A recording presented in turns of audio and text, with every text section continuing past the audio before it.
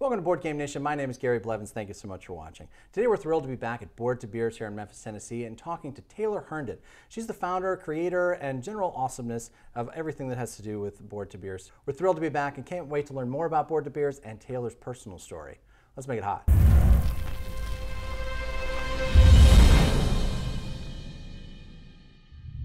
Taylor, thank you so much for taking the time to talk with us today and letting us kind of come in and set up and learn more about uh, what you've got going on here. Yeah, absolutely, anytime. So tell us about the business. So Board to Beer started in 2020, the lovely year that we all know as COVID.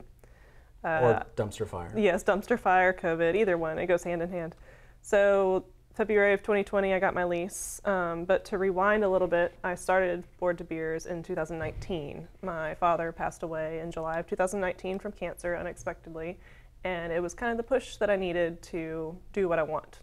Um, I've worked for nonprofits my entire life. I have a biology major. I didn't know what track I was going to end up in life, um, but I wanted to open my own business. And I love going to different bars in the city. I love supporting local. And so it just seemed like it would be nice to have a place where people could come together and enjoy each other's company, but actually be able to hear each other and not have to scream at each other over music or you know, a TV show playing in a bar or people just acting rowdy. And so Board Beers came to mind. Um, I wanted to open a board game bar because my husband and I had a huge collection of board games, which at the time I thought was huge, and now I'm like, oh, that was nothing. Originally we had like 200 games, and we're already up to like 750 or 760. So wow. it's grown a lot. But yeah, after everything happened in July, I started Kickstarter in December of 2019, and it was fully funded in January of 2020.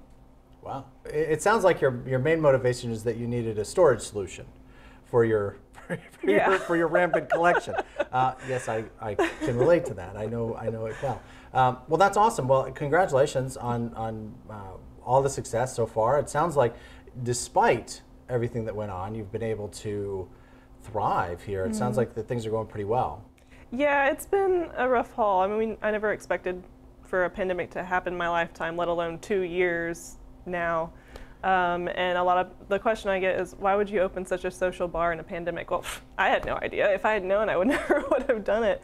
But I'm glad I did because I mean we have a community here that I would have never achieved anywhere else. Um, we have people that have come from all over the country that come and they play games and they've met each other and we've built this huge family. They love to play games and they come every weekend and we hang out and it's just been this amazing thing to watch it grow and it just it makes my heart happy.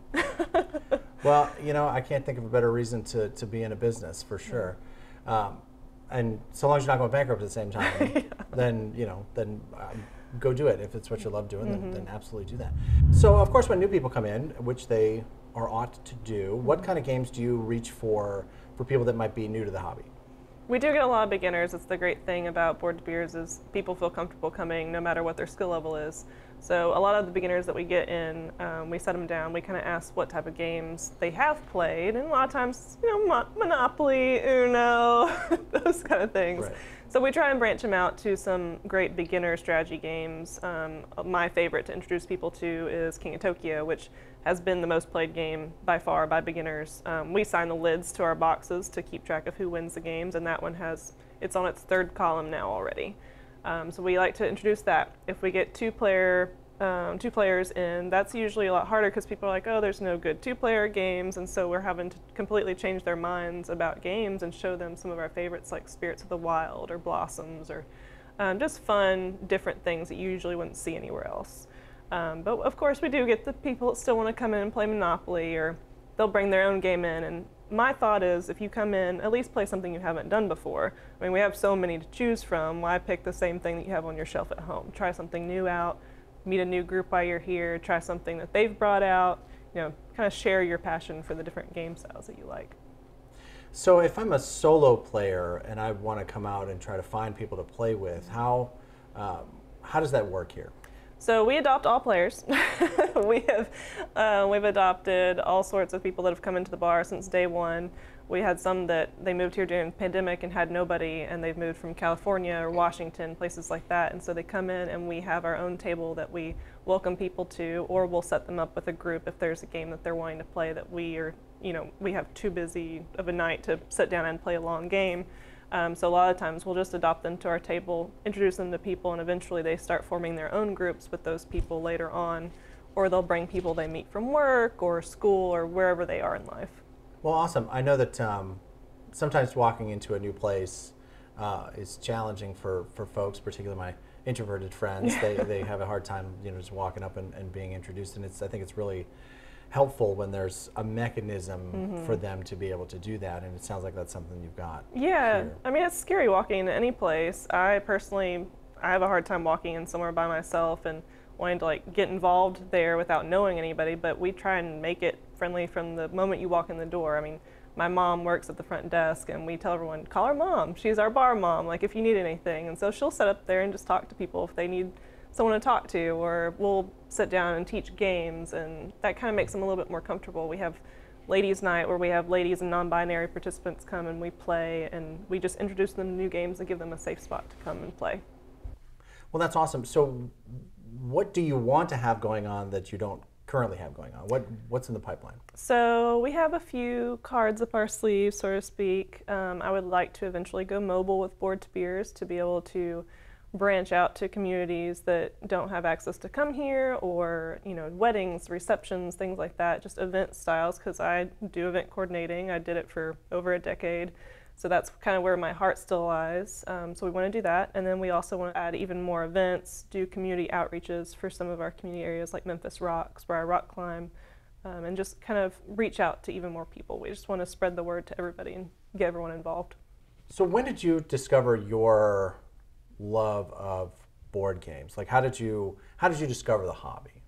So I am actually an only child, so board games were a little bit more difficult to come by when I was young. Not necessarily come by, but play. Um, my parents weren't super into games, but I would always get them to watch me play Perfection, you know, the very stressful game that probably gave all of us anxiety as adults. But um, we'd play that, or Mall Madness, which so many people ask me about now. But um, when I met my husband, he is one of six. So that was a big change for me. So we, I would go over there, we'd play games, and it would get brutal. I mean, he, he has four other brothers and a sister and everyone's competitive and wanting to win and so i think that really kind of um, fueled my love even more and actually had people to play with and so after that we started our own collection and then we started going to board game conventions and things like that and so it just went from there and it is growing so fast that we are still running out of space right. so i understand there is a, a an animal that lurks in the in the hearts of Board to Beers. What? Tell me about that. So Luna is our bar dog. She is a Pembroke Corgi, and she is my emotional support animal. So opening a a business is very stressful on its own, but um, after losing my dad and everything, it was nice to just have something there all the time that was a stress relief. And if I was starting to get overwhelmed, I just go and, you know, everyone wants to pet a corgi. Who doesn't? She's you know, belongs to the queen and everything. So, and she thinks she's a queen. so it goes hand in hand. But I mean, we have multiple animals at home. I've always been a pet person. Being an only child, that's something that I always relied on, whether it was something insane like a possum or a deer or a raccoon or whatever. But now we stick to the more usual pets like dogs and cats, and we do have a hedgehog. So Luna is the lucky one that became the ESA because she's so well behaved. And so she comes up here and she's kind of everyone's emotional support animal now. People come in and they just instantly smile when they see her. So it's a good thing for her to greet people at the door. And she will absolutely greet you. She will sit in front of the door and expect you to stop and pet her or at least pay attention to her while she walks away and wants you to pet her, but she's like a cat. so. I see. I see. So are so she is petable. She is. She loves attention at home when she is with her two other siblings, um, but here she's kind of on Luna time, and she knows that people want to pet her, but she, I think, enjoys the fact that she gets to make that decision here, whether she's going to be petted or not. It's a dog with agency. Yes, exactly. Yes, yes People yes. come in, they're like, "Oh, can we pet your dog?" And I'm like, well, you can try. I mean, she's not aggressive or anything, but she's just a queen.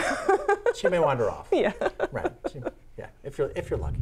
So, what are some of the events that are coming up that are going to be on the calendar in the next few months? So we have Fancy Gaming coming up in February, which is our Valentine's event, where you dress in your fanciest attire with your special someone or your girlfriends or whoever you want to come out with, and you just come and play board games. We um, turn it into a beautiful setting. We have uh, string lighting and candles on the tables and roses and things like that. So a little bit more romantic than it usually is. Um, so we have that in February.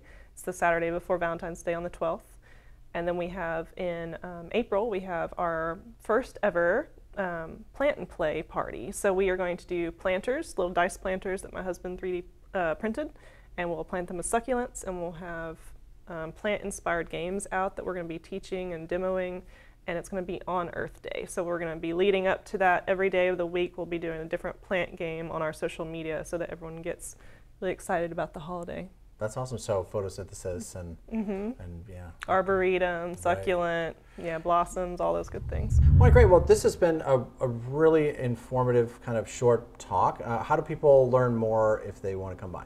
The best way to follow us would be on social media. So Instagram and Facebook are something that I keep up with almost daily, at least a few times a week. And any event that we have coming up, any new game that we have released, or fancy beer that we want to feature is all going to be on Instagram and Facebook.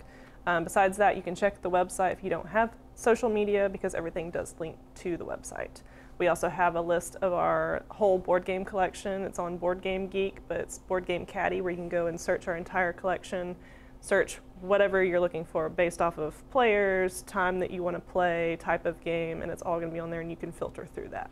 So it's just about every game we have. There's a few that aren't found on there, but for the most part, it's at least over 700 games on there right now. Awesome. So, um, anything else that you want to that you want to share? What is the what's the what am I drinking now? you are drinking woodchuck cider. So we have a few ciders here, and Woodchuck is one of our more popular ones. And I am drinking something from Hampline, and it's called Bring the Tang, and it is a orange passion fruit mimosa. And Hampline's just right down the road. It's one of our favorite breweries. Well, that sounds delicious. Well, thank you so much for taking the time. This has been um, really informative, and we can't wait to uh, get back here and hang out. Yeah, absolutely. You're welcome anytime. hey, welcome to Board Game Nation. My name is Gary Blevins. Thank you so much for watching. I'm gonna get the phone. I'll be right back. When no, um, it's too much drinking. I've had too much. Let's drink more.